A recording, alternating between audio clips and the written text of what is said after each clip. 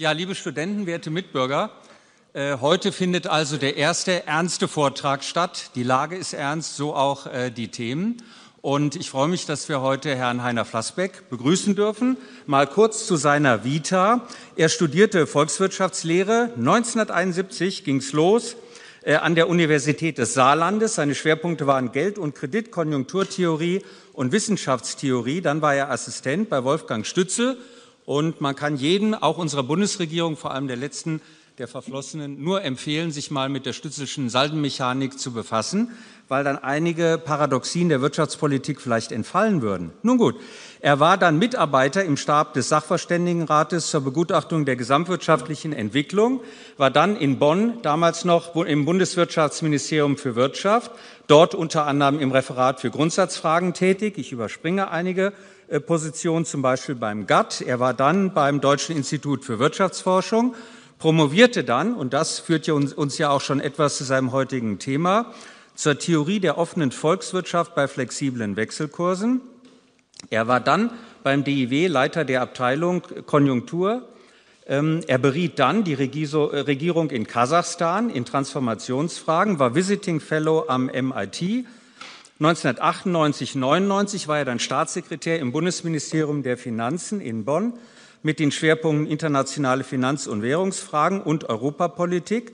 Und schließlich war er bei der UNCTAD in Genf tätig, dort schließlich als Direktor äh, der Division on Globalization and Development Strategies. Und im März 2005 hat er für seine vielen äh, Aktivitäten, wurde er dann ähm, äh, zum Honorarprofessor an der Hamburger Universität für Wirtschaft und Politik ernannt. Sie sehen also, wir haben hier eine sehr interessante Person auch heute. Und äh, ich bin sehr dankbar, dass Sie also aus äh, Genf den Weg hier zu uns gefunden haben. Und das Motto dieser Ringvorlesung ist ja, Menschen zu Wort kommen zu lassen, die etwas, sagen wir, heterodoxe Auffassungen zur Wirtschaftspolitik haben und die eben die Durchwurstelei der heute gängigen Politik kritisieren und hier konkrete Alternativvorschläge machen. Er ist ein äh, Kritiker der effizienten Märkte, hat das schon zu einer Zeit getan, als noch die Deregulierung im Gange war. Und er war auch ein frühzeitiger Kritiker der Politik der Austerität einerseits und dass man dann also sich erst äh, äh den Gürtel enger schnallt und dann sozusagen äh, aus engerem Gürtel dann äh, aus der Krise und den Schulden herauswächst. Das hat er von Anfang an für problematisch gehalten. Und äh, die jetzige Entwicklung und die Remanövrierungen in Brüssel beispielsweise geben ihm ja nicht ganz Unrecht, was noch lange nicht heißt, dass man seine Politik der Stabilisierung der realen Wechselkurse 100 Prozent teilen muss. Aber wir wollen jetzt nicht in ein Streitgespräch geraten, sondern Ihnen erstmal die Möglichkeit geben, uns etwas auszuführen zum Thema Eurokrise und Weltwährungssystem. Herr Flassbeck, Vielen Dank, dass Sie da sind.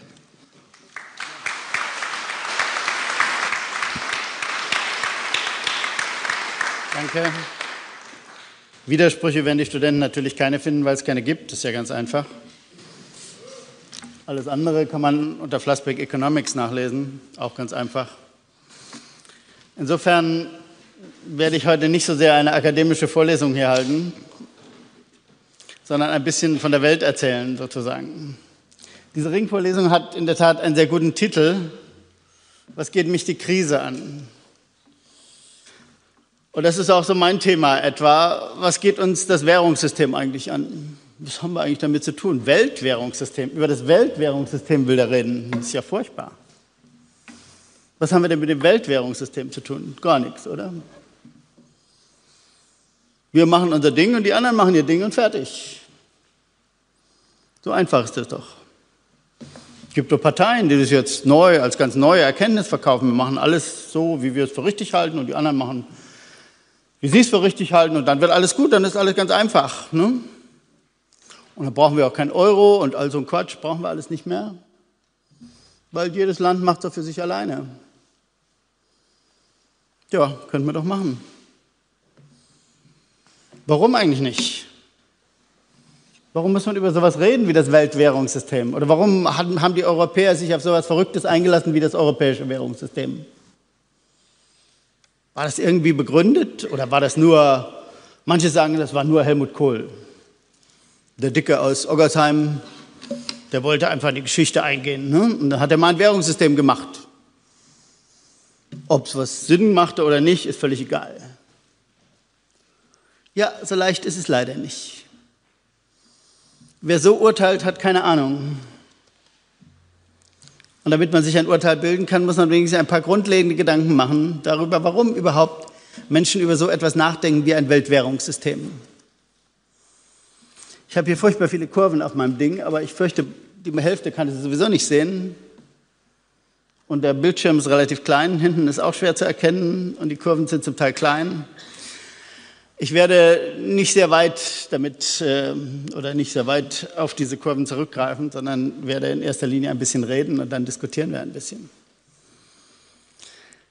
Ja, warum gibt es sowas wie ein Weltwährungssystem? Man kann ja mal in der Welt rumschauen und sich so aktuelle Beispiele holen. Heute stand in allen Zeitungen, das sind ja, die Zeitungen sind ja überhaupt toll im Kommentieren von wirtschaftlichen Entwicklungen. Heute stand in allen Zeitungen, ja guck mal, Frau Rousseff ist Präsidentin von Brasilien geworden. Und was passiert? Der Real fällt. Da sieht man's. Wenn Sozialisten an die Macht kommen, wird's immer schlecht. Und die Aktienkurse sind auch noch gefallen. Ganz schlecht. Hm? Oder der Putin, wissen wir alle, ist ein Böser. Kriegen wir jedenfalls jeden Tag erzählt, ist ein ganz Böser. Und was passiert? Schon bestrafen ihn die Märkte. Die Märkte haben ihn schon bestraft. Wir müssen gar nicht viel machen. Der Rubel fällt. Da geht es denen aber schlecht, wenn der Rubel fällt. Oder der Real. Real heißt die brasilianische Währung. Da geht es denen aber schlecht, oder? Ja, sehen Sie, von so einfachen Vorurteilen leben wir. Die sind aber in der Tat zu einfach. Ich will jetzt keine lange Geschichte über Russland erzählen, aber eine über Brasilien will ich ganz kurz erzählen. Was in Brasilien passiert? Warum haben die Sozialisten so Probleme mit der Wirtschaftspolitik? Nun, das hat ganz entscheidend mit dem internationalen Währungssystem zu tun oder dem nicht vorhandenen internationalen Währungssystem. Ich mache jetzt mal die eine Kurve an, nur damit man sieht, dass ich fleißig war und gearbeitet habe aber nicht um wirklich, die kann man nicht erkennen, das äh, versuchen sie das gar nicht. Was ist passiert in Brasilien? Nun, Brasilien war über die letzten zehn Jahre der größte Spielball der internationalen Währungsspekulation. Und wenn ich die Kurven erklären würde, könnte ich Ihnen erklären, dass Brasilien erlebt hat, was ein Land eigentlich niemals erleben dürft, äh, dürften sollte in einem vernünftigen Währungssystem. Nämlich deren Währung wurde ständig aufgewertet. Wurde ständig aufgewertet. Über fünf bis zehn Jahre wurde deren Währung dauernd aufgewertet. Und warum wurde diese Währung aufgewertet? Wer studiert Ökonomie? Warum werden Währungen aufgewertet? Na? Keiner. Wo ist der Polka? Okay, lernen die das nicht? Carry Trade ist ja viel zu kompliziert. Ach so. Nein, Währungen werden aufgewertet, weil die Länder stabil sind, oder? Wenn einer niedrige Inflationsraten hat, dann wertet er auf. Und wenn einer hohe Inflationsraten hat, dann wertet er ab, oder? Steht in allen Lehrbüchern der Ökonomie. Stimmt nur leider nicht. Steht nur in den Lehrbüchern. Hat mit der Wirklichkeit nichts zu tun. Ja, Brasilien hat aufgewertet, obwohl es die ganze Zeit eine relativ hohe Inflationsrate hatte. Und warum hat es aufgewertet? Nun, er hat schon gesagt, er hat schon die Runde geworfen wegen Spekulationen. Und warum gab es Spekulationen mit dem brasilianischen Real? Nun, weil in Brasilien die Zinsen etwas höher waren. Das ist diese rote Kurve da auf der rechten Seite. Die Zinsdifferenz zu Brasilien war die ganze Zeit positiv. Die Leute, was haben sie gemacht? Sie haben Geld aus Japan genommen und haben es nach äh, Brasilien gecarried, getragen und haben dabei Geld verdient. Reine Spekulation rund um die Welt. Hedgefonds, alle Hedgefonds dieser Welt und alle großen Banken dieser Welt beteiligen sich permanent an diesem Spiel, das dazu führt, dass dann eine Währung eines Landes aufwertet, das eine hohe Inflationsrate hat. Ja und dann? Ja und dann? Ja, dann verliert das Land massiv an Wettbewerbsfähigkeit. Und dann? Ja, dann bricht in diesem Land, brechen Teile der Industrie weg, die absolut wettbewerbsfähig sind. Weil andere Länder ja billig, billig geworden sind und das Land ist relativ teuer geworden. Und dann kann Brasilien eben zum Beispiel nicht so viele Flugzeuge exportieren, wie sie sonst exportieren könnten oder andere Güter, nicht nur Rohstoffe. Brasilien produziert nämlich nicht nur Rohstoffe, sondern produziert sehr viele Güter auch im Hochtechnikbereich. Viele sind schon mit brasilianischen Flugzeugen geflogen. Ne? Embraer ist eine brasilianische Marke. Und was sagt die Welt dazu, dass das passiert mit Brasilien? Dass die Währung dauernd aufgewertet wird, über fünf, sechs, sieben, acht Jahre dauernd aufgewertet wird. Was sagt die Welt dazu? Die Weltwirtschaftspolitik muss sich doch darüber Gedanken machen, oder? Du musst doch sagen, das geht nicht. Ein Land darf doch nicht dauernd an Wettbewerbsfähigkeit verlieren, nur weil ein paar Spekulanten Geld verdienen, oder? Doch, genau das sagt die Welt. Genau das hat die Welt den Brasilianern über zehn Jahre lang jetzt gesagt. Ja, da kann man leider nichts machen. So ist die Welt. Die Welt ist eben so, dass es Spekulanten gibt, Hedgefonds gibt, große Banken gibt, die wollen alle mit eurer Währung Geld verdienen und die darf man nicht daran hindern. Denn das ist gegen die oberste, oberste Regel, die wir in dieser wunderbaren Welt haben, nämlich das Kapital muss frei fließen. Nur wenn Kapital frei fließt, gibt es eine Chance, dass wir reicher werden und alles uns allen besser geht. Ne? Aber dass ein Land wie Brasilien dabei kaputt gemacht wird über zehn Jahre mit dieser Aufwertung des brasilianischen Real, das sagt niemand. Das ist vollkommen tabu, ist auch in der Wissenschaft vollkommen tabu. Es gibt keine Aufsätze in den wissenschaftlichen Journals darüber, dass hier ein verrücktes System installiert wurde, in dem ein Land aufwertet, das eigentlich abwerten müsste. Der Währungsmarkt tut genau das Gegenteil dessen, was er tun müsste. Er müsste den brasilianischen Real abwerten, nämlich so viel wie die Inflationsdifferenz zwischen Brasilien und Japan ist, und er tut genau das Gegenteil, er wertet das Land auf. Und die Welt schweigt. Und dann geht es dem Land schlecht und dann es, hat es keine hohen Wachstumsraten. Und dann sagt man, äh, schreibt man in den westlichen Medien, guck, die Sozialisten können nicht wirtschaften. Man sieht es wieder. Die Sozialisten können nicht wirtschaften. Nein, es war Wall Street, weil Wall Street Geld verdienen musste und die Londoner City Geld verdienen musste. Deswegen konnten die Sozialisten in Brasilien nicht vernünftig wirtschaften. So Kleinigkeiten muss man sich mit beschäftigen, wenn man die Welt verstehen will. Ja, der Markt tut genau das Gegenteil dessen, was er tun sollte. Genau das Gegenteil dessen, was die Ökonomen auch erwarten. Aber wir sind ja hier in einer Vorlesung. Ne? Man müsste jetzt erwarten, dass die Ökonomen auf die Barrikaden gehen. Dieses diese Problem wurde politisch diskutiert, um nicht missverstanden zu werden. Brasilien hat von Währungskriegen gesprochen. Der brasilianische Finanzminister ist um die Welt gereist und hat überall dafür geworben, hat gesagt, ihr müsst doch, schaut doch hin, da passiert doch etwas Schreckliches, da müsst ihr mir doch helfen, etwas zu tun. Keiner hat davon etwas wissen wollen. Da hätten doch die Ökonomen auf den, an den Universitäten auf die Barrikaden gehen müssen, sagen müssen, das ist ja gegen unsere Theorie, das ist ja genau das Gegenteil dessen, was wir vorhersagen in unserer Theorie. Dann müssen wir die Theorie ändern. Wenn wir die Theorie aber ändern, dann ist der Markt überhaupt nicht mehr effizient. Dann müssen wir die Märkte kontrollieren. Oh Gott. Hat aber keiner gesagt, ne? Oder ganz wenige, kaum hörbar. Die Ökonomen haben nämlich eine wunderbare Angewohnheit. Die Ökonomen ist übertrieben. 99 Prozent aller Ökonomen haben eine wunderbare Angewohnheit. Wenn es nämlich ernst wird, wenn es nämlich darum geht, dass ihre Theorie falsch sein könnte, dann setzen sie sich nicht damit auseinander, sondern dann machen sie die Augen zu. Sie ignorieren es einfach. Sie ignorieren es einfach so lange, bis keiner mehr darüber redet. Ja, aber man muss darüber reden. Man muss darüber reden und wie gesagt, Brasilien hat versucht darüber zu reden. In G20 war es ein großes Thema, weil Brasilien es in den G20 zum Thema gemacht hat. Ich habe da drin gesessen, drei Jahre lang im, im Finanzministertreffen, bei den Finanzministertreffen der G20. Auch der deutsche Finanzminister hat nie etwas dazu gesagt, hat nie eine Meinung gehabt. Auch sein Staatssekretär hat keine Meinung gehabt. Nie haben sie sich dazu geäußert, wie es mit, was mit Brasilien passiert ist. Warum? Da kommen wir gleich zu. Weil in Europa machen wir ein ähnliches Experiment, ne? ähnliche Experimente, ganz vergleichbare Experimente und wundern uns dann, dass es schief geht. Aber genau deswegen brauchen wir ein internationales Währungssystem. Übrigens ist jetzt die Abwertung des Real das Beste, was Brasilien passieren kann. Das Beste, was Brasilien passieren kann. Brasilien braucht dringend eine Abwertung des Real. Warum? Nun, weil sie dann zum Beispiel deutsche Exporteure auf den Weltmärkten verdrängen können. Ja, verdrängen können. Und die müssen sie auch verdrängen, wenn sie selbst eine Überlebenschance haben wollen. Denn es kann auf dieser Welt nicht sein, dazu komme ich am Schluss noch, dass immer nur die einen exportieren, die anderen immer nur importieren. Das geht irgendwie nicht. Das hat man in Deutschland noch nicht verstanden, aber es ist leider so.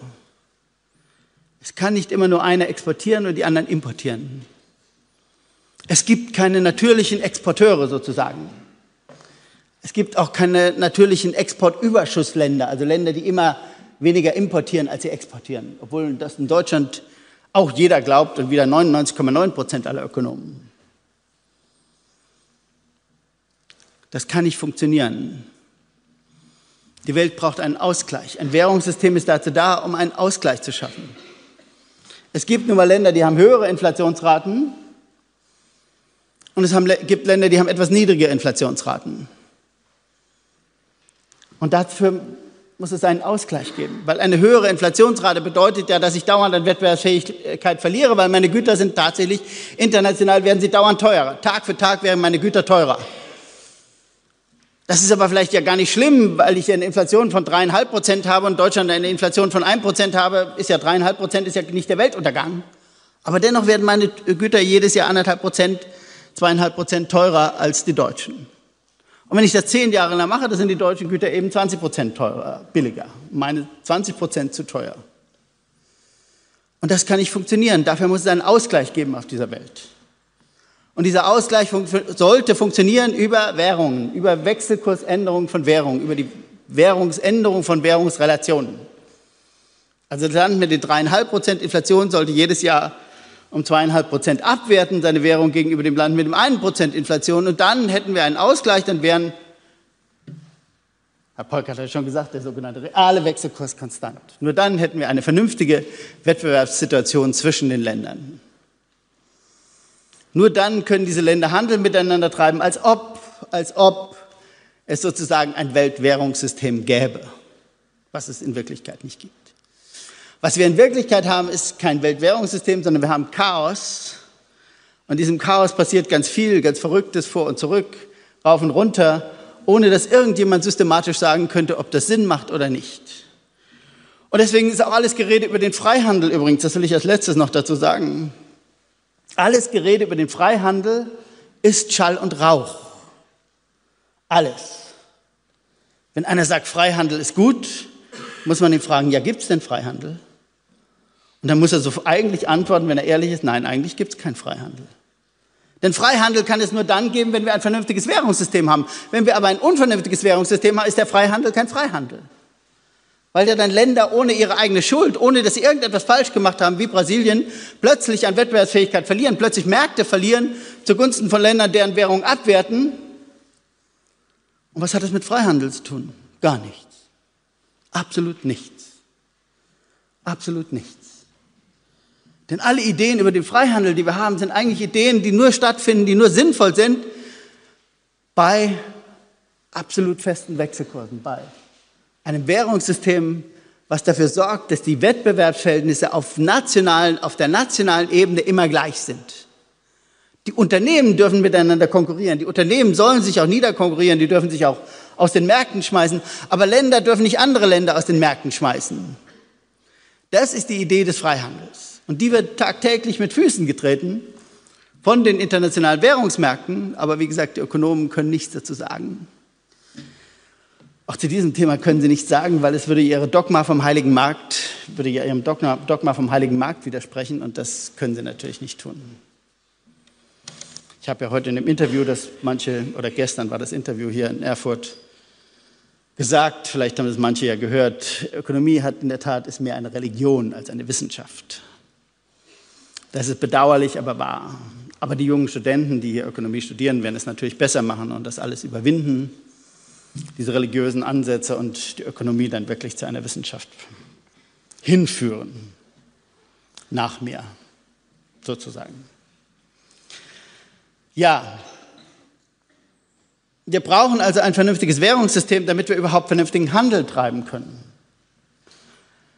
Und Handel finden wir doch alle ungeheuer wichtig. Handel finden wir doch das absolut Entscheidende. Ja, und das haben wir auch in Europa. Warum haben wir Europa so aufgebaut, wie, wie, wie es ist heute? Ja, in erster Linie wegen des Handels.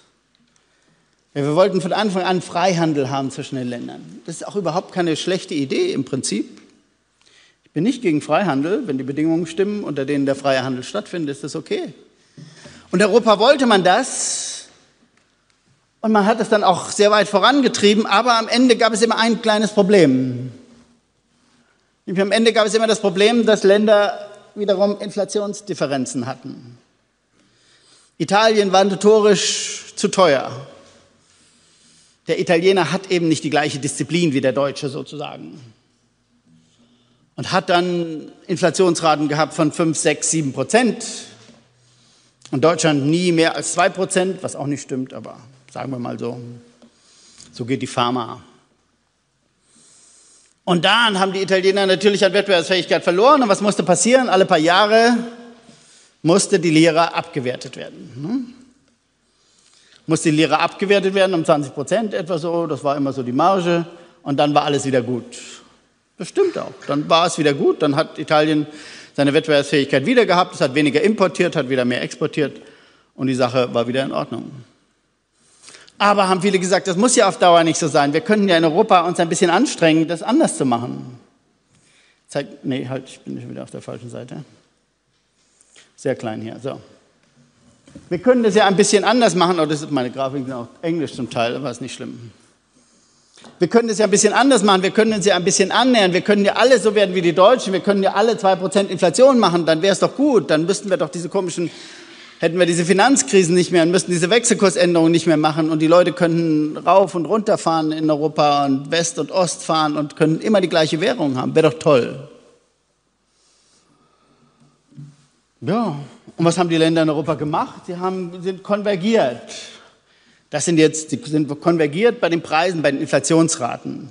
Das sind jetzt die Lohnstückkosten. Warum sind Lohnstückkosten wichtig? Nun, weil ich bin immer in der falschen Richtung, ich schaffe das heute nicht mehr. Warum betrachtet man die Lohnstückkosten, weil die Lohnstückkosten am besten korrelieren mit den Inflationsraten. Diese Kurve ist so klein, dass Sie da hinten wahrscheinlich gar nichts sehen, aber auch das ist nicht schlimm. Diese Kurve sagt nichts anderes, dass die Lohnstückkosten, das sind die Löhne, sozusagen die Nominallohnsteigerung minus Produktivitätssteigerung. Ne, wenn in einem Land die Nominallöhne um 5% steigen, die Produktivität um 2%, kann man so grob rechnen, ist mathematisch nicht ganz korrekt. 5 minus 2, dann steigen die Lohnstückkosten um 3%.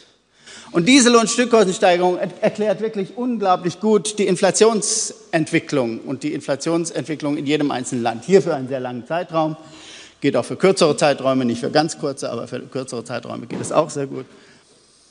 Also muss man, wenn man die Inflationsraten konvergieren will, was muss man tun? Man muss die Lohnentwicklung konvergieren. Und das haben die Europäer sich vorgenommen. Bin ich wieder falsch rum? Nein, richtig. Hui. Gut.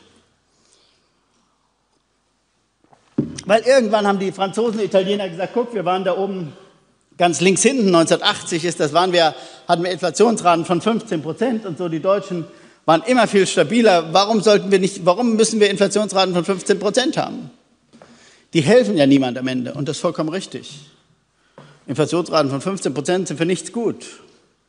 Wenn die italienische Produktivität um 2 Prozent steigt, dann steigen bei Inflationsraten von 15 Prozent die Löhne um 17 Prozent. Aber Löhne von 17 Prozent, Nominallöhne, die um 17 Prozent steigen, bei 15 Prozent Inflationsrate sind eben auch nur 2 Prozent Reallöhne. Hm? Und dann steigen die Reallöhne um 2 Prozent, die Produktivität steigt um 2 Prozent.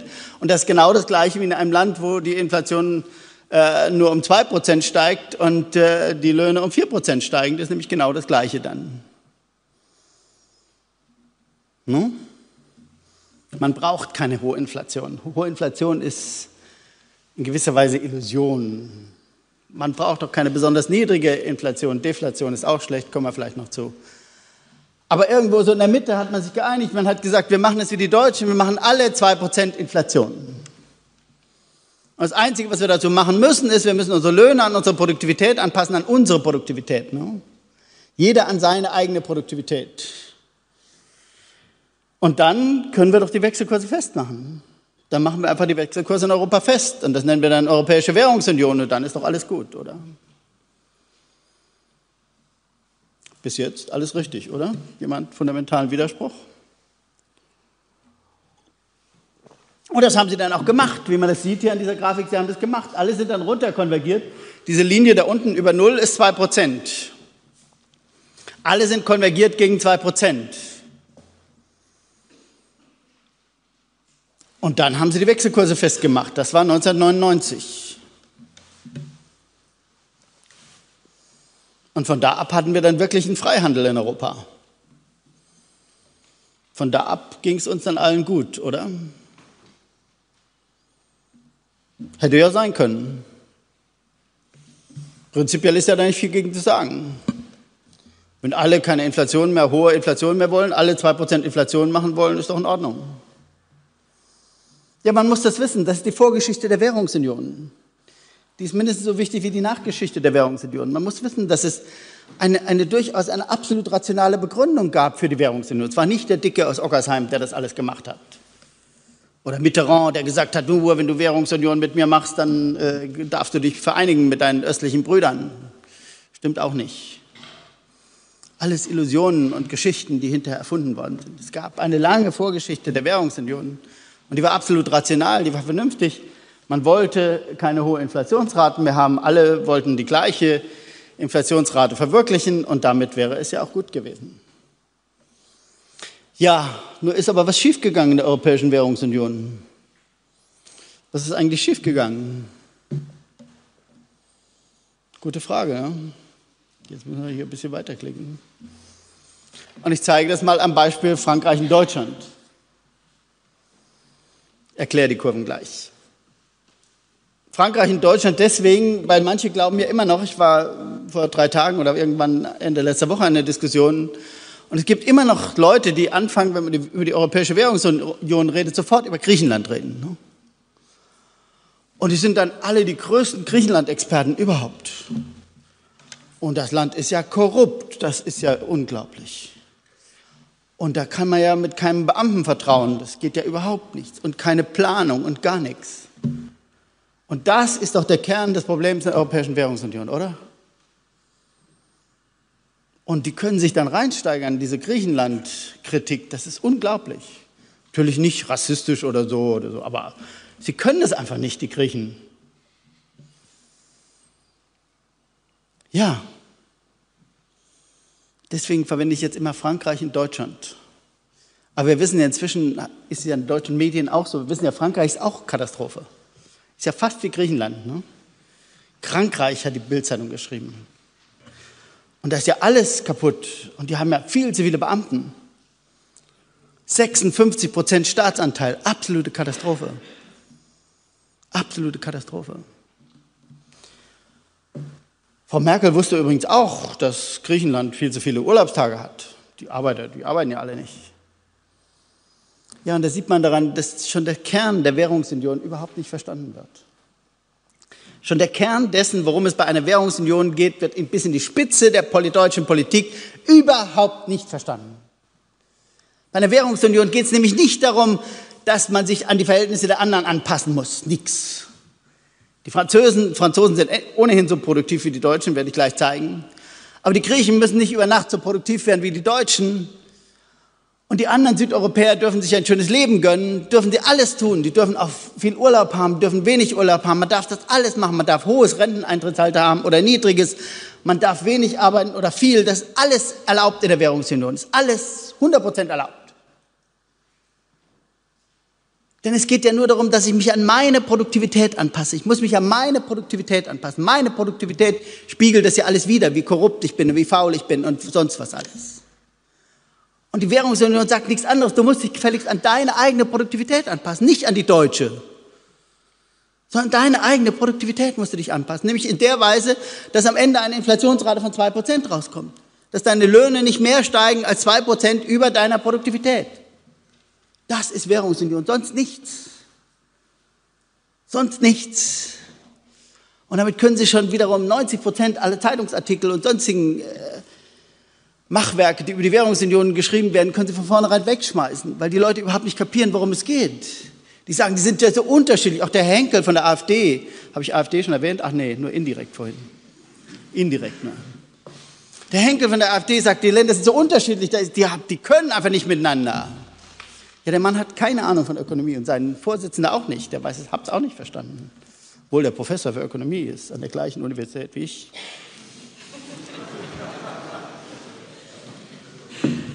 Aber der hat überhaupt nicht verstanden, worum es geht. Deswegen Deutschland, Frankreich. Wir sehen ja jetzt, es geht um Deutschland und Frankreich. Es geht nicht um Griechenland. Griechenland ist vollkommen unwichtig. Spielt überhaupt keine Rolle. Und jetzt zeige ich Ihnen die Anpassung, wie die gelaufen ist über die Jahre, wie die Länder sich an ihre Produktivität angepasst haben, ne? an ihre eigene Produktivität. Wie Frankreich und Deutschland sich angepasst haben. Und das ist die französische Anpassung. Das Blaue sind die Nominallöhne. Die Nominallöhne sind also ziemlich stark gestiegen, von 100 auf 150, von 1999 bis heute. Und die Produktivität ist von 100 auf 115 gestiegen. Na, das konnte ja nicht gut gehen, ne? Und jetzt schauen wir uns mal Deutschland an, wie Deutschland das gemacht hat. Oh. Oh. Komischerweise ist die Produktivität in Deutschland ganz genauso stark gestiegen wie in Frankreich, ne? Von wegen hoher Staatsanteil. Ja, die Produktivität, die alles misst, was die Effizienz der ganzen Volkswirtschaft wiedergibt, ist in Frankreich ganz genauso stark gestiegen wie in Deutschland. Nur das Einzige, was in Deutschland nicht gestiegen sind, sind die Nominallöhne. Die Nominallöhne. Was sollten wir denn machen in Europa? Wir haben ja vorhin die Regel ausgegeben. Aber wenn man das so anguckt, ist ja klar, wer Recht hat und wer Unrichtig hat. Ne? Weil niedrige Löhne sind ja immer gut, oder? Weiß man doch. Niedrige Löhne führen doch zum Abbau der Arbeitslosigkeit. Flexibel muss man sein. Die Arbeitsmärkte müssen flexibel sein. Das ist das Wichtigste überhaupt. Und Deutschland hat doch hier eine enorme Flexibilität verwiesen, oder? Keine Lohnsteigerung, nominal fast keine Lohnsteigerung über 15 Jahre. Genial. Ja, aber dummerweise bedeutet das, die beiden Kurven sind das Entscheidende. Die bedeuten, dass Frankreich alles richtig gemacht hat und Deutschland alles falsch. Was den Kern der Währungsunion angeht, nämlich die Anpassung in eigene Produktivität. Denn was Frankreich gemacht hat, sind tatsächlich Nominallohnsteigerungen, Produktivität plus zwei Prozent. Plus zwei Prozent. Denn das war ja die gemeinsam vorgegebene Inflationsrate, die wir erreichen wollten. Was Deutschland gemacht hat, ist Nominallöhne plus nix. Plus null Prozent. Und das ist ein ganz klarer Widerspruch zu der Inflationsrate, dem Inflationsziel, das wir uns gesetzt haben von zwei Prozent. Ich will das jetzt nicht im Einzelnen noch ausführen. Ich, äh, Herr Polkert guckt immer schon ganz kritisch, weil ich so lange rede. Noch nicht. Ich will nur noch sagen, dass die absolute Produktivität, man kann ja pro Stunde messen, die absolute Produktivität pro Stunde in Frankreich ganz genauso hoch ist wie Deutschland. Und dass man dann, wenn man die Reallöhne mit der Produktivität vergleicht, sieht, dass in Frankreich die Reallöhne eben genauso gestiegen sind wie die Produktivität und in Deutschland sind die Reallöhne, es sind zwei verschiedene Messkonzepte, deutlich darunter geblieben, unter der Produktivität. So, und damit sind wir jetzt aber schon bei einer Erklärung, warum die Europäische Währungsunion schiefgegangen ist. Nun, weil im Kern der Europäischen Währungsunion war die Frage, wie passt, passt man sich an sein Inflationsziel an? Und das Inflationsziel war zwei Prozent. Das ist hier eingemalt in dieser Kurve, die schwarze Linie. Und blau ist die Europäische Währungsunion ohne Deutschland und orange ist Deutschland. Alle Länder hätten auf der Linie liegen müssen. Ne? Wenn sie sich gehalten hätten an die Vorgabe, die wir uns gemeinsam gegeben haben, hätten alle genau auf dieser schwarzen Linie liegen müssen. Aber auf der schwarzen Linie liegt tatsächlich, oh, Entschuldigung, das ist gar nicht hier, schade. Da liegt nur ein einziges Land und dieses Land heißt Frankreich. Ich habe die Kurve jetzt gerade nicht da, aber zeige ich nachher noch.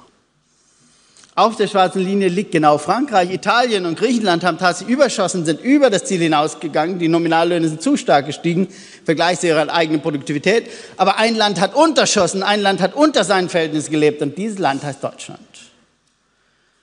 Und das heißt, genau zu dem Zeitpunkt, wo die anderen so werden wollten wie Deutschland, wo so vernünftig werden wollen wie Deutschland, nur noch eine Inflationsrate von zwei Prozent haben wollten, ist Deutschland weggetaucht und hatte plötzlich eine Inflationsrate von null, fast null. Das konnten die anderen aber nicht wissen. Ne? Manche sagen jetzt, der große Ökonom Schröder sagt das, oder hat das immer gesagt, jetzt sagt er nicht mehr so viel. Großer Ökonom Schröder hat immer gesagt, ja, wir mussten das doch machen wegen der Chinesen. Die Chinesen haben uns doch bedroht und bedrängt. Und da konnten wir doch nicht jedes Jahr 2% Preissteigerung machen. Ist doch ein gutes Argument, oder? Hätte man ja sagen können, ne? Hätte ja 1999 99 der Schröder hinstellen können, hätte sagen sollen, 2% Inflationsziel ist zu viel. wegen der Chinesen. Hat er nur nicht gesagt. Ne? Ich war dabei, ich war in der Regierung am Anfang der ersten sechs Monate jedenfalls. Er hat es nicht gesagt. Niemand hat es gesagt in Brüssel. Niemand hat in Brüssel gesagt, dass von nun an Deutschland gar nicht mehr 2% Inflation machen will, sondern viel weniger. Niemand hat es gesagt. Aber selbst wenn man es gemacht hätte, wäre es dumm gewesen, weil die Chinesen haben einen Wechselkurs. Ne? Und diesen Wechselkurs kann man ändern. Die Währungsrelationen zum Euro kann man ändern. Wenn man dauernd versucht, gegen ein anderes Land äh, sich unterzubewerten, sozusagen, indem man die Löhne nicht erhöht, dann normalerweise sollte dann passieren, es passiert eben nicht immer, weil der Devisenmarkt nicht funktioniert, aber normalerweise sollte dann die eigene Währung aufwerten. Ne? Und dann wäre dieser Vorteil schnell wieder weg.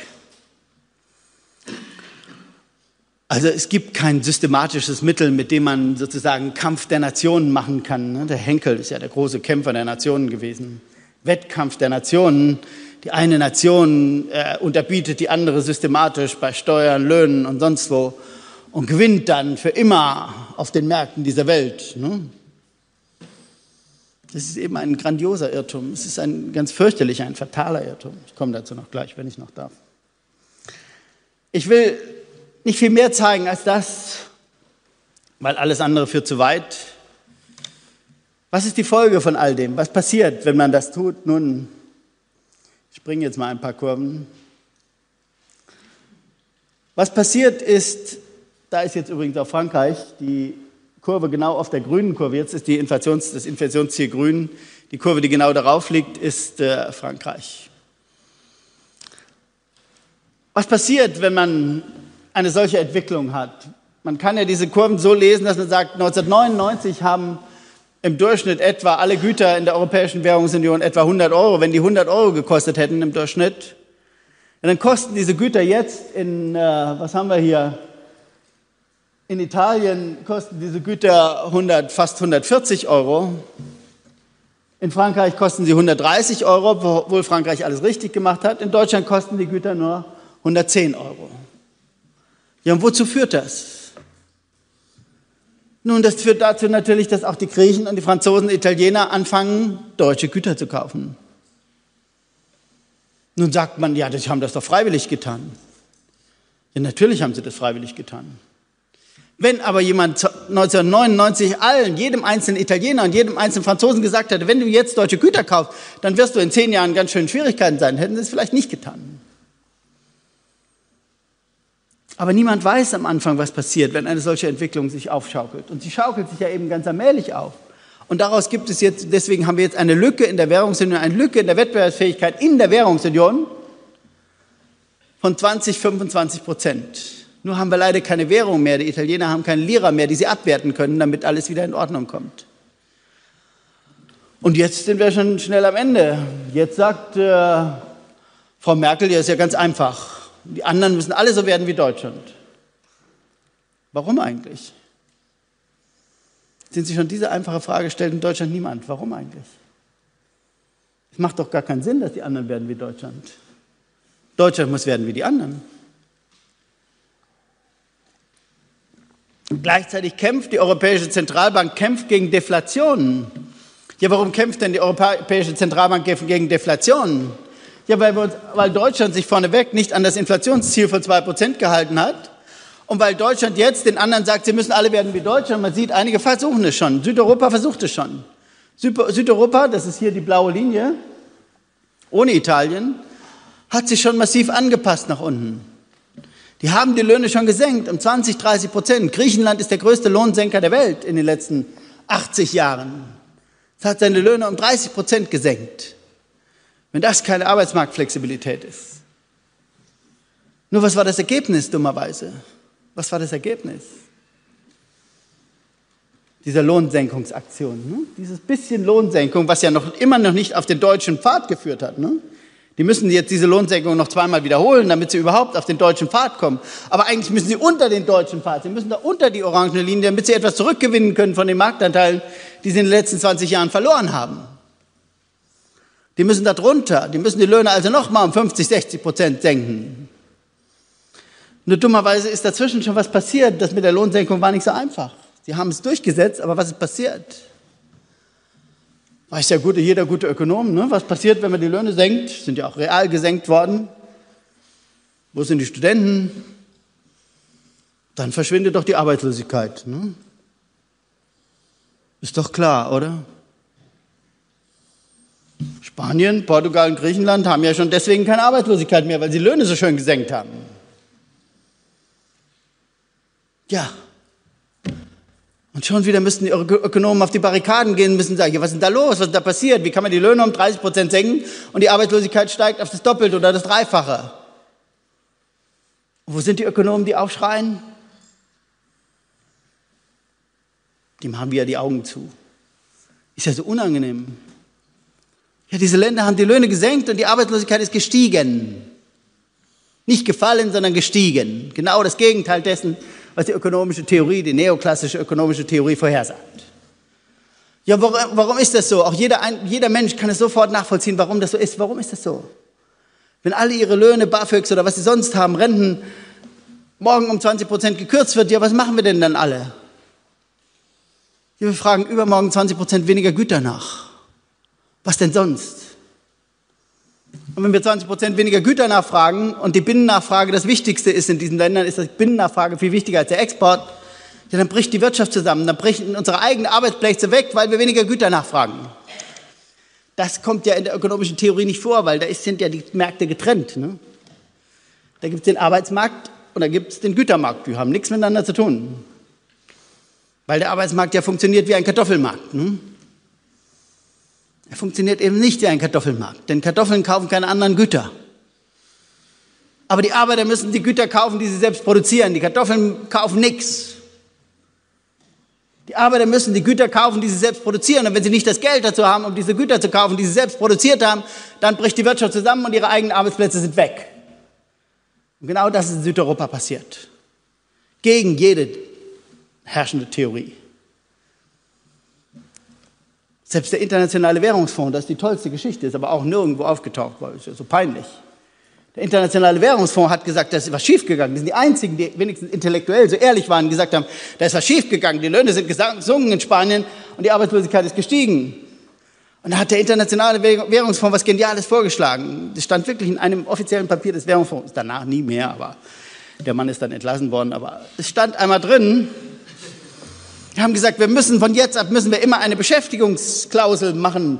Wenn die Löhne gesenkt werden, müssen die Unternehmen immer gleichzeitig so viel die Beschäftigung erhöhen, damit es keine, keine Nachfrageausfall gibt. Muss man sich mal jetzt einen deutschen Gewerkschaftsführer vorstellen, ne? Der sagt bei den nächsten Tarifverhandlungen, hier, ihr Arbeitgeber, da schreibt ihr genau rein, wie viel, äh, wenn wir auf Löhne verzichten, wie viel mehr ihr die Beschäftigung erhöht. Und zwar jeder Einzelne. Und dann schreibt ihr das jedem einzelnen Betrieb vor, du hast um 3 Prozent, du 1 Prozent, du 8 Prozent die Beschäftigung zu erhöhen. Ja, jeder, jeder Gewerkschaftsführer, der sowas auch nur andenken würde, würde als, als schrecklicher Sozialist gebrandmarkt, der nicht mehr alle Tassen im Schrank hat. Aber der Internationale Währungsfonds in einer hellen Sekunde hat es, hat es bemerkt. Ja, es war Katastrophe. Diese Anpassung nach unten, diese blaue Anpassung nach unten war eine Katastrophe. Aber wir haben es ja nicht zur Kenntnis nehmen wollen. Warum?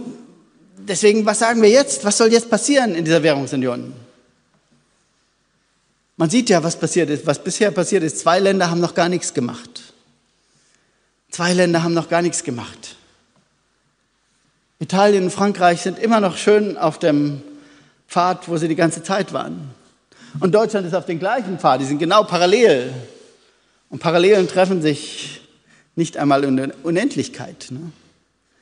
Das heißt, Frankreich und Italien haben immer noch die gleiche Wettbewerbslücke zu Deutschland, die sie am Anfang der Krise hatten, 2008, 2009. Und was sagen wir jetzt? Was sagt Frau Merkel diesen Ländern? Was sagen wir alle? Herr Schäuble jeden Tag, Herr Gabriel sagt es auch. Strukturreformen müssen die machen. Hm?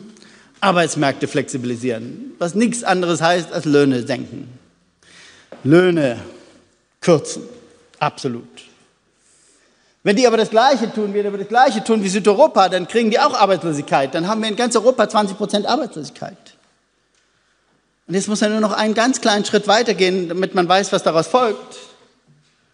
Ich lebe in Frankreich seit zwölf Jahren, ich kann Ihnen sagen, was daraus folgt. Wenn Frankreich in zwei Jahren auch nur einen Versuch gemacht hat, in Richtung Südeuropa die Löhne zu senken und Arbeitslosigkeit von 11 äh, oder 12 auf 15 Prozent oder 20 Prozent gestiegen ist, Ja, dann wird Frankreich 2017 eine Präsidentin haben. Ne?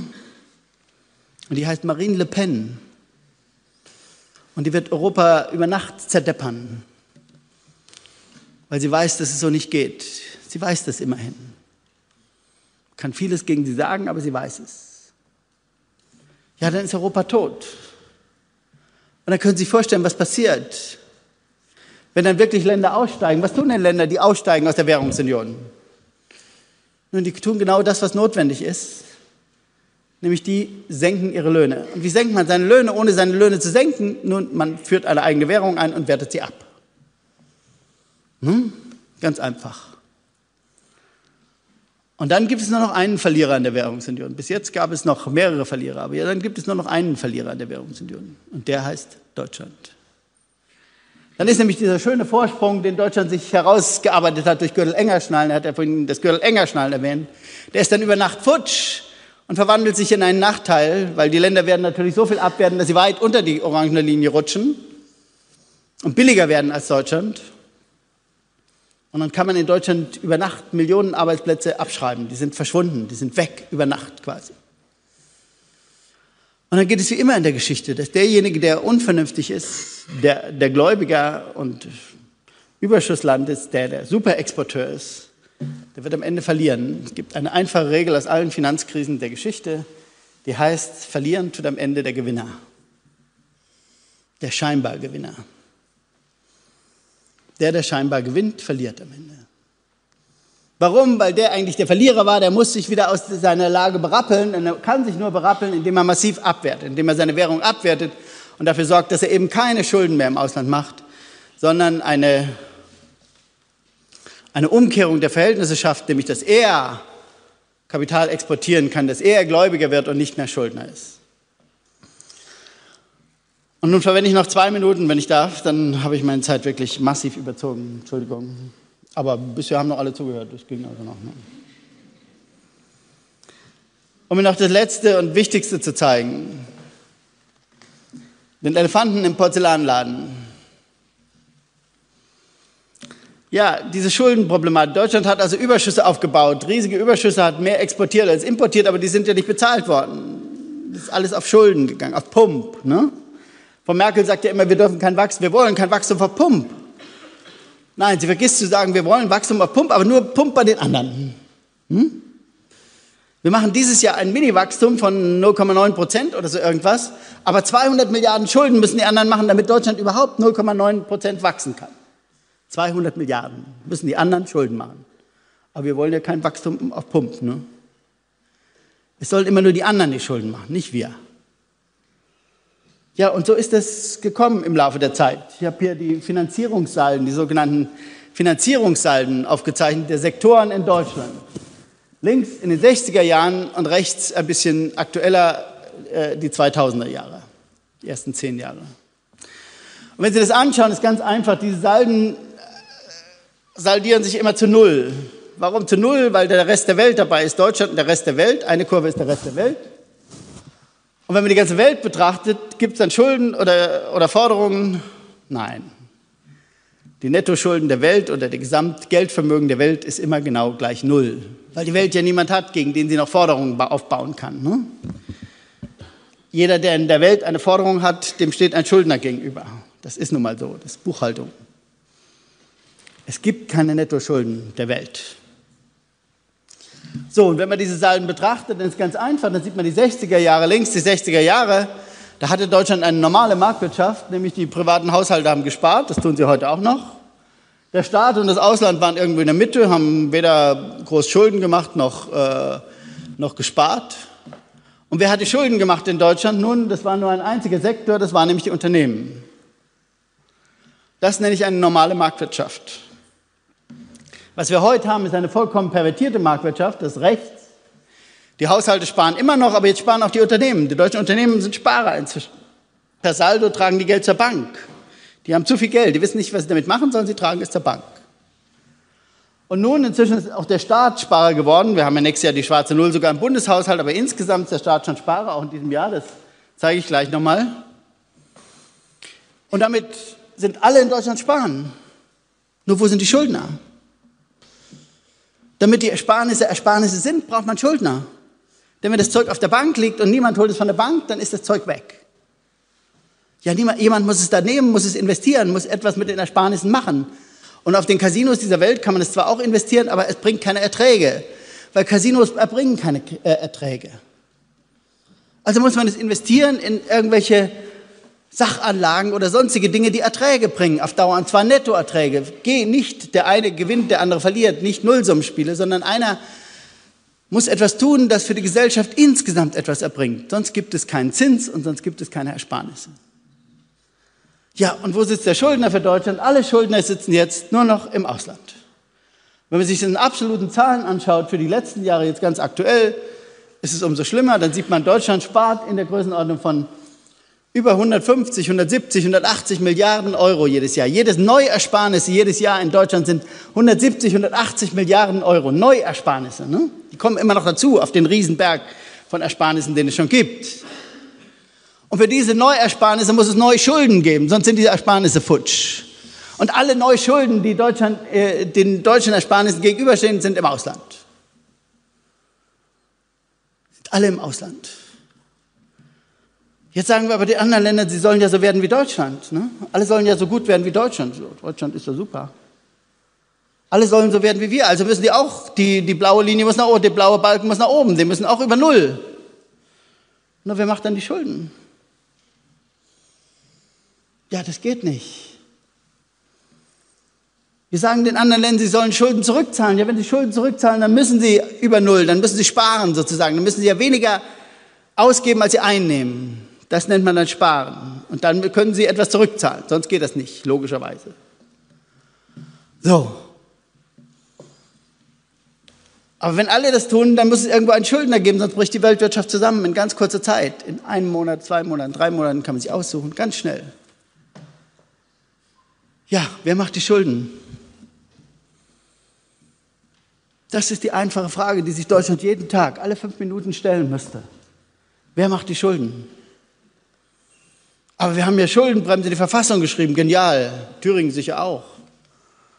Und in dem, habe ich nicht, irgendjemand hat mir eine Mail geschickt, auch in dem neuen Abkommen der Thüringer progressiven Regierung steht drin, nichts an den Schulden rühren, das ist tabu. Ja, wer macht die Schulden? Die Ausländer sind jetzt alle pleite, die wollen keine Schulden mehr machen, die können keine Schulden mehr machen, weil sie nicht mehr glaubwürdig sind als Schuldner. Die Europäische Zentralbank und die anderen Zentralbanken der Welt, ja, was machen die eigentlich? Die machen die Zinsen auf Null, ja, warum? Sind die bekloppt oder was?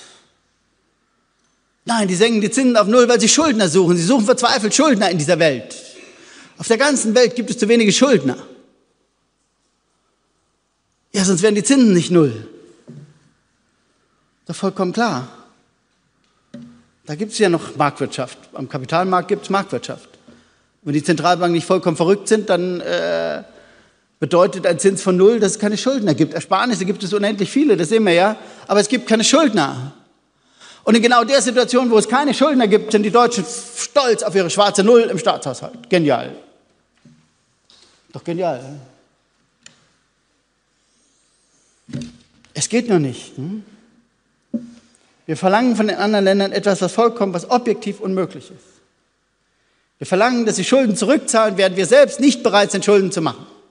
Das geht nicht auf dieser Welt. Das ist absolut gegen die Logik. Und wenn sie etwas verlangen, was so absolut gegen die Logik ist, was wird dann passieren? Nun, dann passiert das, was immer passiert, dann explodiert irgendetwas.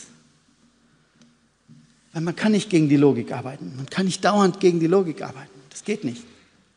Wenn Sie einen Kessel immer stärker unter Druck setzen, bricht irgendwann muss auch der stärkste Kessel platzen.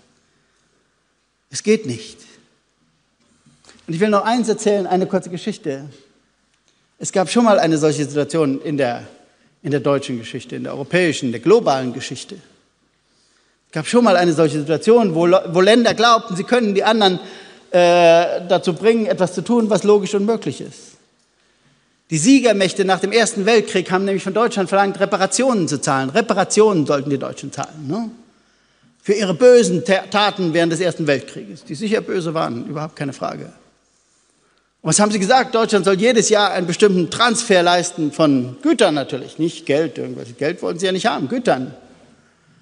Damit die anderen sich entschädigen können für die Verluste, die ihnen Deutschland im Krieg zugefügt hat. Ja, und das war genau die gleiche Situation wie jetzt. Und es gab einen einzigen Menschen auf der ganzen Welt. Ne? Es gab einen einzigen Menschen, der erkannt hat, dass es Unsinn ist. Dass es grandioser Unsinn ist, dass es gegen die Logik ist. Den Namen haben Sie schon gehört, aber das ist ja in Deutschland verpönt, das ist ja ganz schlimmer. Ja, der heißt John Maynard Keynes. Ne? Lange bevor der alle seine anderen Ideen hatte, mit denen er später berühmt wurde, wusste der, dass es vollkommen falsch ist, dass man Deutschland von Deutschland Reparationen verlangt. Weil er hat gesagt, ihr, die anderen verlangen von Deutschland, dass es Leistungsbilanzüberschüsse macht, denn nur wenn es Leistungsbilanzüberschüsse macht, also mehr exportiert als importiert, kann es ja einen Realtransfer leisten an die anderen Länder. Aber gleichzeitig wollen die anderen ja gar nicht, dass Deutschland Leistungsbilanzüberschüsse macht, denn sie wollen ja gern in der Gläubigerposition werden und nicht Schuldner von Deutschland oder Transferempfänger von Deutschland.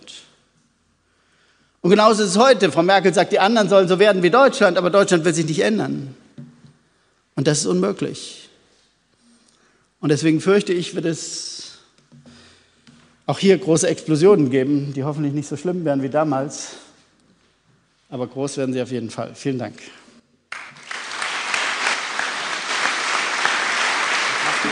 Können wir die Präsentation haben? Bevor es gleich zur Fragerunde geht, äh, wenn euch die Bilder auch zu klein waren, ihr könnt die ab morgen in dem Metakun-Raum mit dem Namen Ringvorlesung abrufen. Äh, das Passwort ist Krise mit Groß K. Ja, vielen Dank. Wir kommen zur Diskussion. Ähm, das Mikrofon hat jemand versteckt, ich verrate nicht wer. Ähm, das heißt, ich bitte diejenigen, die eine Frage stellen wollen, hier vorzukommen. Wir können auch so eine kleine Schlange äh, dann bilden. Ähm, ich, ich stelle einfach mal, bevor jemand vorkommt, die erste Frage. Was bedeutet das denn für die momentane Situation? Das heißt, treffen Sie sich da mit Herrn Lucke? dass temporäre Austritte Parallelwährungen jetzt äh, stattfinden sollen, dauerhaft oder? Nein, ich treffe mich überhaupt nie, nirgendwo und nirgends mit Herrn Lucke. Aber nein, Herr Lucke hat ja ein völlig verqueres Weltbild. Er, er, er sagt die anderen haben alles falsch gemacht. Das ist ja durch nichts zu begründen. Nein, was passieren wird, solche Prozesse forcieren sich ja nicht rational mehr dann irgendwann. Machen wir uns nichts vor, es gibt, wird keine Konferenz gehen, keine europäische Konferenz, wo man sagt, äh, jetzt beschließen wir die Währungsunion zu modifizieren oder anders zu machen, sodass alle wieder leben können. Das hätte man längst machen können. Das hätte man unmittelbar nach dem Ende, äh, äh nach Beginn der Krise machen können, 2008, 2009. Aber es war ja von Deutschland, ist ja bis heute überhaupt keine Bereitschaft da, das Thema zu diskutieren, ernsthaft überhaupt zu diskutieren. Deutschland verleugnet doch die Tatsache, dass es selbst etwas falsch gemacht hat. Ganz massiv. Die ganze Politik, fast die ganze Politik, fast die ganzen Medien äh, verleugnen, dass etwas schiefgelaufen ist. Und solange das der Fall ist, wird es, wird es wie immer in der Politik, die Politiker sind nicht besonders kommunikationsfähig. Glauben Sie mir, ich habe in vielen, unendlich vielen, viel zu vielen in meinem Leben politischen Konferenz, äh, Konferenzen gesessen. Da ist eine, eine große Kommunikationsunfähigkeit. Es ist nicht so, dass die miteinander wirklich reden. Sie dürfen sich nicht einen Europäischen Rat vorstellen, äh, dass man miteinander redet. Nein, äh, ein Europäischer Rat findet so statt, dass 28 Statements abgegeben werden, dann ist der Tag vorbei. Und wenn Sie dann Glück haben, treffen sich noch zwei oder dreimal beim Abendessen und reden noch ein paar Worte miteinander. Das ist dann äh, das Ergebnis. Es gibt keine, keine offene Kommunikation in dem Sinne. Und deswegen gibt es Konfrontationen und diese Konfrontation wird in dem Fall dazu führen, dass irgendwann die Länder sagen, ich mache es auf Teufel komm raus nicht mehr mit. Ich wünsche mir jetzt sogar Konfrontation. Was ich mir jetzt wünsche, ist politische Konfrontation. Das einzige Weg, diese Krise zu lösen, ist, dass Südeuropa, Frankreich und Frankreich, inklusive Frankreichs, kapieren, dass sie Deutschland nicht durchgehen lassen äh, dürfen, diese Politik, die Deutschland jetzt verordnet, sondern sie müssen sich dagegen stellen. Sie müssen sich offen dagegen stellen. Sie müssen, so wie ich, argumentieren und sagen, eure Verschuldungswahn ist Wahn und wir machen keinen Wahn mit. Und, äh, und, und nur dann gibt es vielleicht eine Lösung. Aber das ist nicht normal in der Politik. In Politik vollzieht sich das dann so, dass eben gewählt wird und plötzlich, oh Wunder, wie bei der Europawahl, alle plötzlich sind vom, aus dem Häuschen gewesen. Frau Le Pen ist äh, Partei, Front National ist die stärkste Partei in Frankreich. Äh, und so wird es dann 2017 kommen, oh Gott, Frau Le Pen ist jetzt plötzlich Präsident, was machen wir jetzt? Und dann wird Frau Le Pen mit einigen anderen Rechtsradikalen wird äh, die EU vor die, vor die Wahl stellen, äh, sich radikal zu ändern oder nicht. Und dann wird die EU sagen Nein. Und dann muss, muss etwas passieren. Und das kann dann nur bedeuten, dass Frankreich, vielleicht nicht sofort, aber in ein paar Monaten äh, und andere Länder wahrscheinlich mit, äh, den Ausstieg machen. Und dann ist die Katastrophe da. Dann geht es aber über Nacht. Ich will ja eine allmähliche Anpassung. Es gibt ja eine Lösung. Man kann diese Kurven zusammenführen. Sie müssen sogar sich überschneiden am Ende, aber das geht über 20, 30 Jahre. Deswegen plädiere ich ja für eine Änderung der Lohnpolitik. Aber es hört ja nicht mehr zu, niemand zu, nicht mehr die Gewerkschaften wollen darüber reden. Um Gottes Willen nie über höhere Löhne reden. Das ist der einzige Weg, wie man das äh, auf normalem, sozusagen auf einem, einem ohne mit Katastrophen gepflasterten Weg äh, äh wieder, wieder zurechtbiegen kann, ist Lohnerhöhung in Deutschland, nicht Lohnsenkung bei den anderen, sondern stärkere Lohnerhöhung über 10, 15 Jahre in Deutschland. Okay, das heißt temporärer Austritt, wenn es eben nicht anders ich geht. Ich glaube nicht, dass es dann temporär ist. Was dann passiert, ist permanent. Das ist dann mhm. für die nächsten 100 Jahre. Mit Deutschland wird niemand mehr eine Währungsunion machen in den nächsten 100 Jahren. Er müsste verrückt sein, wenn er das tun würde. Ja, bevor ich die nächste Frage stelle. Warum sind eigentlich die Brasilianer, äh, warum haben die nicht ein, einfach Negativzinsen eingeführt? Habe ich bei den Schweizern auch nicht verstanden. Weil man, wenn man eine Inflationsrate von 6 bis 7 Prozent hat, nicht leicht äh, eine Notenbank findet, zumal eine unabhängige, die bereit ist, Negativzinsen einzuführen. Das ist ganz einfach. Sie haben, Sie haben auch im Inneren natürlich die, die Konflikte nicht überwunden, äh, die, die man braucht, um, um aus einer Situation herauszukommen. Aber äh, man hätte ihnen leicht helfen können, wenn man ihnen gesagt hätte, jawohl, wir sind bereit, die G20 ist bereit, hier ein Zeichen zu setzen. Man hätte ja nur ein Kommuniqué der G20 veröffentlichen müssen und sagen, die brasilianische Aufwertung ist ungerechtfertigt, dann wäre es schon vorbei gewesen. Dann hätte niemand mehr spekuliert, weil sie alle Angst davor gehabt hätten, dass es zusammenbricht. Ne? Ja, guten Abend, Christian Schädlich, ich komme von der Uni Jena.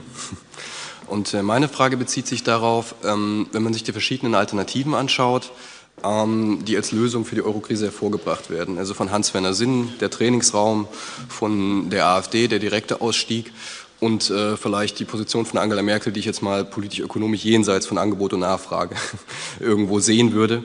Da wäre meine Frage, wie erklären Sie sich die Position von Angela Merkel? Also in Bezug darauf, ähm, dass sie, ähm, äh, liegt das nur daran, dass, äh, am Lobbyismus der Unternehmen, dass die durchaus ein Interesse haben, dass die Südländer im Endeffekt schwach bleiben, damit der, der Euro quasi niedrig bleibt und man die Exporte nach China machen kann, weil ich glaube, hier wird keiner einen fünften Mercedes fahren in der Familie. Und ähm, meine zweite Frage wäre, sehen Sie ein Szenario, wie die Neoklassik als politische Ökonomie das eigentlich überleben kann? Ja, zu dem ersten Punkt, äh, danke für die Fragen. Ähm, Frau Merkel, ich weiß nicht, wer sie berät und wie sie beraten ist. Sie ist auf jeden Fall schlecht beraten, das ist überhaupt keine Frage. Sie ist extrem schlecht beraten. Ich meine, in einer solchen Frage, wo es eine Schicksalsfrage Europas geht, müsste sich ein deutscher Kanzler, Kanzlerin, müsste sich breit beraten lassen, müsste sich 10, 20 verschiedene Meinungen anhören. Und meine Meinung, die ich heute Abend hier geäußert habe, das ist nicht äh, jetzt eine, eine, eine absolute Minderheitsmeinung, jedenfalls nicht in der Welt. Ne? Wenn man die Welt nimmt, die Ökonomen dieser Welt, dann ist das die Mehrheitsmeinung, das, was ich heute gesagt habe. Nur in Deutschland ist es eine Minderheitsmeinung. Ne? Machen wir uns nichts vor. In der Welt wissen die meisten Leute, dass das, was ich gesagt habe, äh, jedenfalls viel näher an der Wahrheit ist als das, was die deutschen Ökonomen sagen. Nur Deutschland schottet sich ab. Also Frau Merkel müsste ja nur mal Paul Krugman anrufen, der kommt sofort gejettet und berät sie und viele andere äh, und sich dann eine Meinung bilden auf, aufgrund, auf der Basis äh, vieler verschiedener Meinungen. Das ist das, was Politiker machen müssen, wenn sie keine Ahnung von der Sache haben. Und man kann nicht so viel Ahnung von der Sache haben. Das ist unmöglich. Ich habe mich jetzt 40 Jahre lang mit Währungssystemen beschäftigt.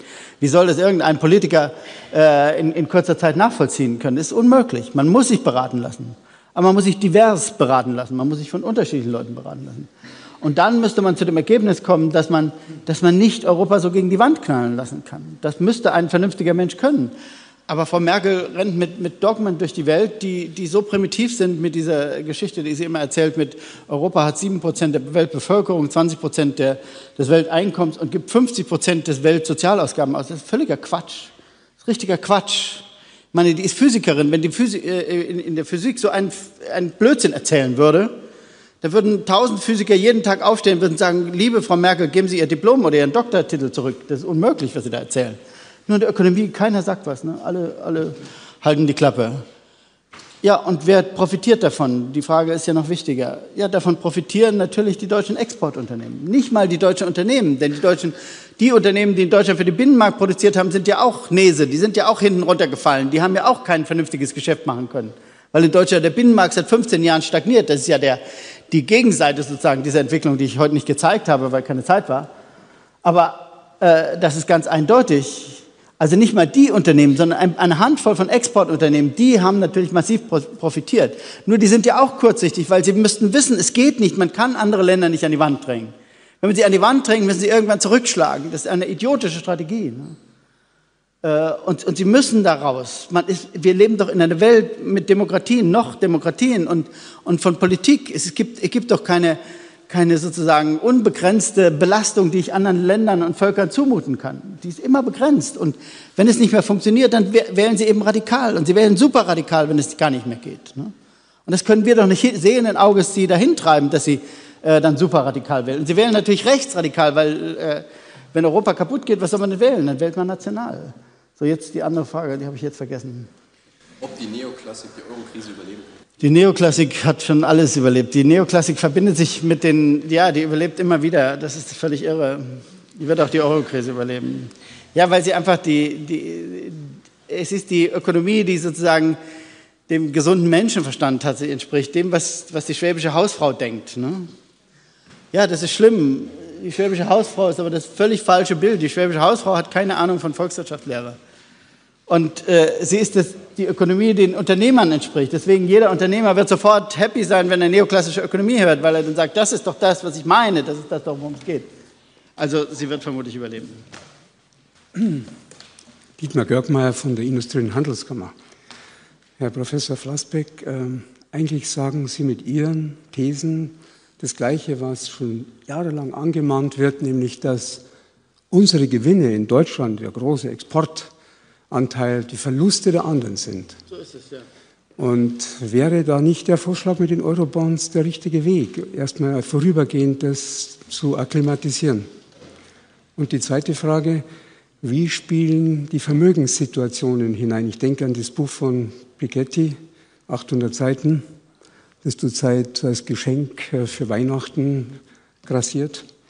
Äh, wie die Vermögenssituation. Also er sagt ja, die Formel R ist größer als G. Also lassen Sie mich mal zunächst mal Piketty abhandeln. Davon halte ich überhaupt nichts. Nichts. Null. Das ist Neo, pure Neoklassik und seine Formel ist ein Ergebnis eines bestimmten neoklassischen Modells, das ich für vollkommen falsch halte. Also davon halte ich überhaupt nichts. Es gibt ein Ungleichheitsproblem, es gibt ein Vermögensungleichheitsproblem, ein Einkommensungleichheitsproblem, das ist keine Frage. Aber das ist nicht Ergebnis der Faktoren, die Piketty analysiert. Er, er sozusagen projiziert äh, sein Modell auf die Wirklichkeit und dann guckt er, was er mit seinem Modell daraus interpretieren kann. Und da kommt dann raus, der Kapitalismus ist eben so. Der Kapitalismus ist nicht so. Es gibt überhaupt keinen Kapitalismus als solchen. Wir, haben, wir sind jetzt durch äh, viele verschiedene Phasen des Kapitalismus gegangen. Wir haben nach dem Zweiten Weltkrieg äh, 20 Jahre Bretton Woods gehabt, wiederum beeinflusst von einem gewissen Herrn Keynes, äh, viel mehr als Ludwig Erhard. Äh, und, und diese Phase, da war, gab es das alles nicht. Und wir haben trotzdem extrem gut funktionierenden Kapitalismus gehabt. Ne? Also der, diese, diese, dieses Bild von Kapitalismus teile ich überhaupt nicht. Ihre erste Frage war nochmal Stichwort noch. Die Eurobonds, ja, Sie haben vollkommen recht. Nein, das stimmt. Man, man kann es überbrücken, aber meine, das, was jetzt Herr Draghi tut, ist ja nichts anderes. Ne? Es ist wieder deutsche Illusion. Jetzt haben wir die Eurobonds abgewehrt, das Schlimme auf der Welt.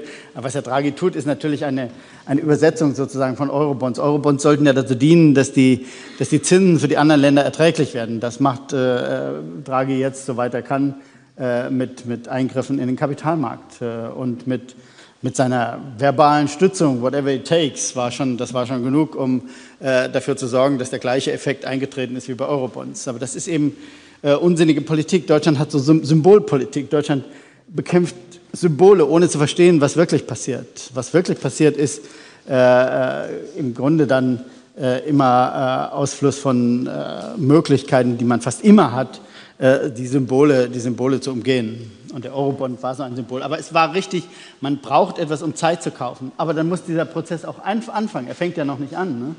Der Anpassungsprozess muss anfangen. Der dauert ja 10, 20 Jahre, wenn man ihn vernünftig macht.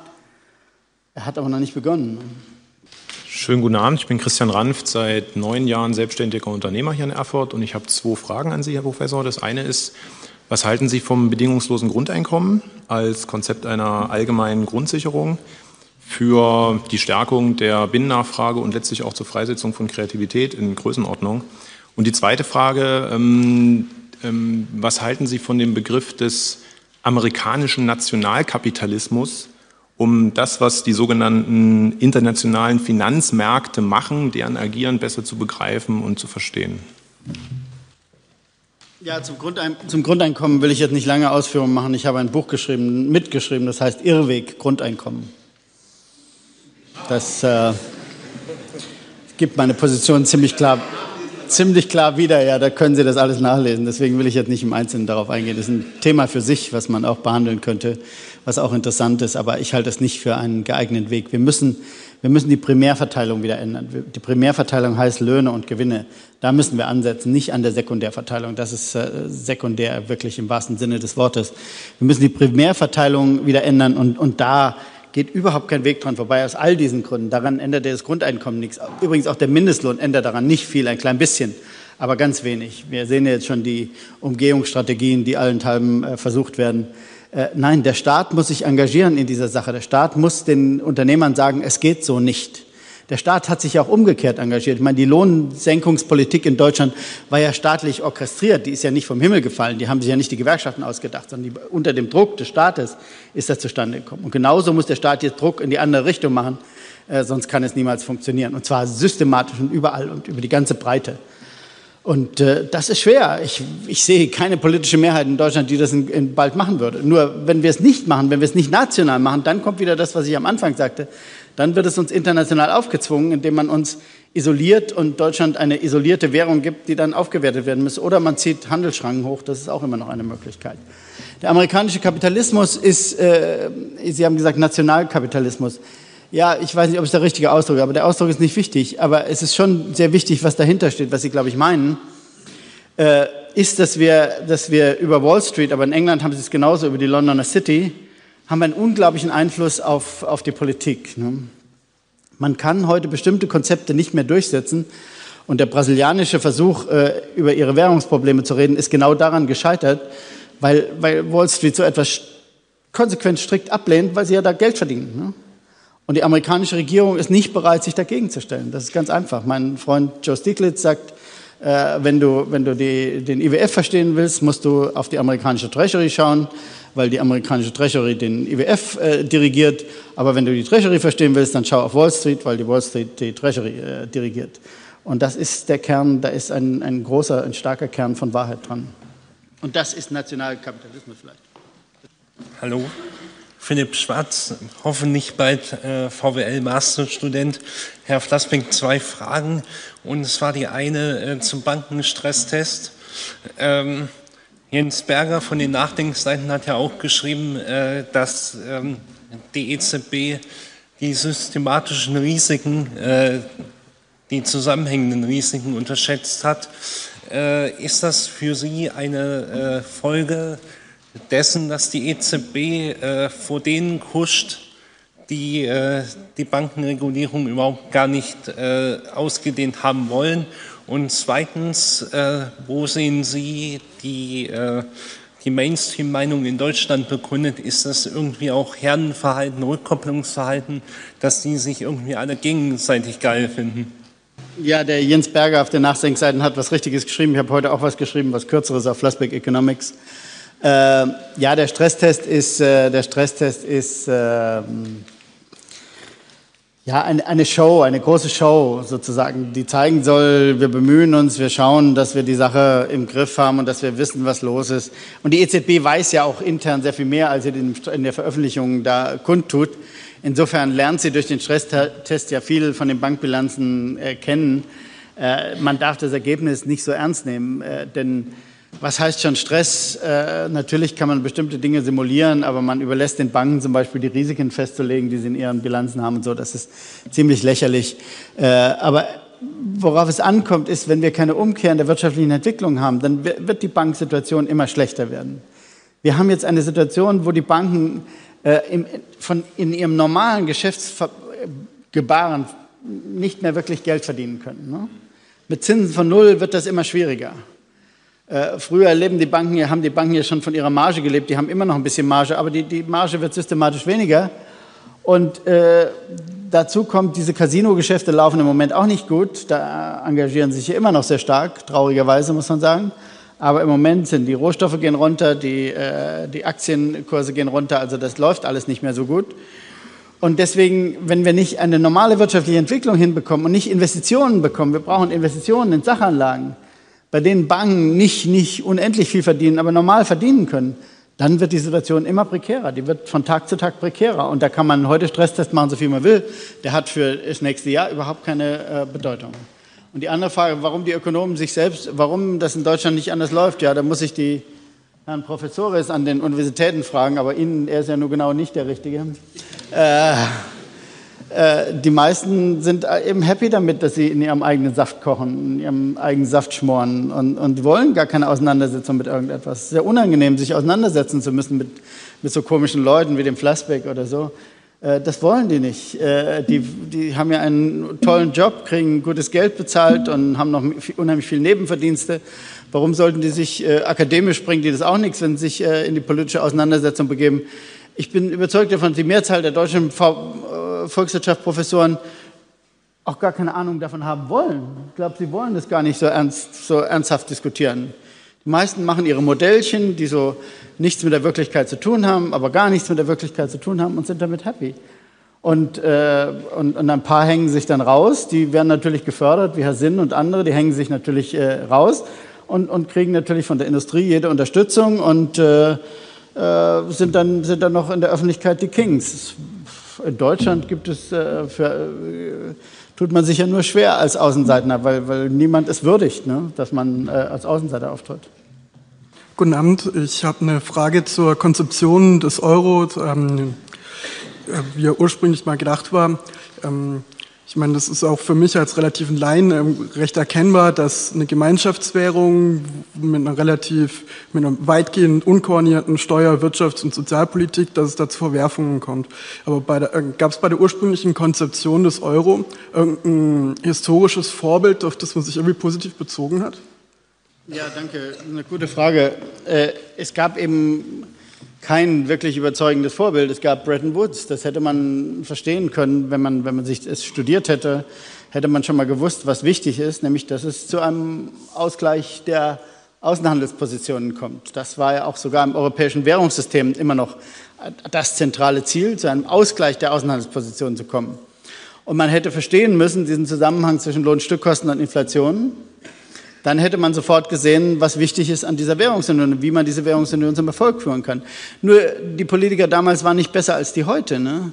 Und auch damals waren die schon besessen von der Idee, dass es vor allem die Fiskalpolitik sei, die die Inflation bestimmt. Das ist durch nichts gerechtfertigt, durch nichts. Aber das Zweite, was sie geglaubt haben, was sie noch viel fester geglaubt haben, dass die Geldpolitik ist, die die Inflation bestimmt, weil sie alle Monetaristen waren damals. Heute ist der Monetarismus ziemlich tot, Gott sei Dank. Aber damals waren sie alle noch überzeugte Monetaristen, auch in den Zentralbanken. Alle waren davon überzeugt, nur über eine stringente Geldpolitik kann man die Inflation in Kontrolle halten. Die Löhne haben dabei überhaupt keine Rolle gespielt. Und das sind die entscheidenden Fehler, die gemacht wurden. Der Maastricht-Vertrag ist auch schon falsch konzipiert, natürlich, weil die falsche Theorie dahinter stand. Heute können wir das wissen. Heute haben wir auch in, in Brüssel immerhin einige Korrekturmechanismen. Es gibt die sogenannte Macroeconomic Imbalance Procedure, wo man versucht, diese, äh, die außenwirtschaftlichen Ungleichgewichte allmählich klein zu kriegen. Aber Deutschland verhindert, dass dort ernsthaft, ernsthaft diskutiert wird. Deutschland verhindert es politisch mit, mit seiner Macht, dass dort ernsthaft diskutiert wird. Und äh, auf diese Weise könnte man, man könnte eine Währungsunion konstruieren, die, die funktionstüchtig wäre. Und ich bin auch immer noch dafür. Ich war immer ein Anhänger des Euro. Aber ich dachte, ich habe erst nicht, erstmal nicht geglaubt, dass Deutschland so brutal Lohndumping betreiben würde. Und ich, und ich dachte, man lernt allmählich, man wird klüger im Laufe der Zeit. Wenn man nach vier, fünf Jahren gesehen hätte, dass es so nicht geht, dann wäre es ja schon ganz gut gewesen. Ich habe damals eine ernsthafte, eine, eine intensive Diskussion mit der, mit der Europäischen Zentralbank schon gehabt und mit der Bundesbank über diese Frage. Und sie haben alles abgewiegelt. Sie haben gesagt, nein, ist alles überhaupt kein Problem. Das Auseinanderlaufen der Lohnstückkosten, überhaupt kein Problem. Nein, nein, nein, da gibt es tausend ganz einfache Begründungen für und all so Zeug. Und mit Trichet habe ich diskutiert und alle haben Immer nur abgewehrt, bloß nicht dran denken, dass da irgendwas passieren könnte. Ja, und jetzt ist es zu spät. Mein Name ist Hans-Dieter Brutis. Ich bin vom Beruf auch Physiker. Also Frau Merkel, Frau Dr. Merkel, ich bin auch Doktor, ich darf auch Frau Merkel sagen. das nur zur Form. Und äh, ich bin Experimentalphysiker, äh, das unterscheidet uns beide auch. Und äh, meine Frage, bei der Frage äh, bitte ich Sie, vielleicht mir zu helfen, falls ich den Umstand, den ich kurz sage, falsch darstelle. Höchstens vor einer Woche kam von Frankreich folgende, also auch von höchsten Stellen, ein Bitteangebot, Frankreich spart 50 Milliarden und dafür gibt Deutschland 50 Milliarden aus. Ich habe das überhaupt nicht verstanden.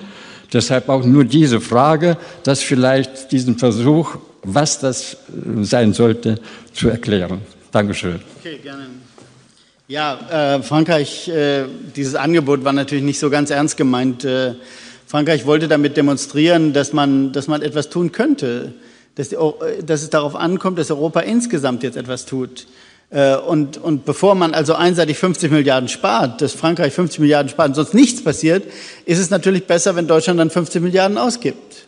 Und Deutschland muss mehr Geld ausgeben, das habe ich ja gesagt. Ne? Es geht überhaupt kein Weg dran vorbei. 50 Milliarden sind aber viel zu wenig.